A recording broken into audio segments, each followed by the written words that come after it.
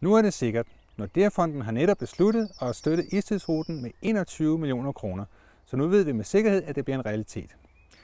Istidsruten bliver en cykelrute på i alt 250 km, der kommer til at gå igennem fem kommuner. Det er Lejre, Sorø, Kalundborg, Odsherred og Holbæk.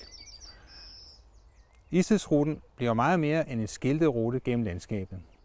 Det bliver en rute med oplevelser og fortællinger og spændende historier. Langs ruten bliver der en masse steder, hvor man kan stoppe og høre spændende fortællinger om det sted, man er nået til. Fortællingerne kommer til at handle om både istidslandskabet og den kultur, der har udviklet sig i området siden isen trak sig bort for 15.000 år siden. Det er nok de færreste, der har lyst til at cykle 250 km på en dag, så derfor kommer ruten til at gå forbi en masse tilpladser og shelterpladser, hvor man kan stoppe op og tage en overnatning i det fri, mens man er rundt på cyklen.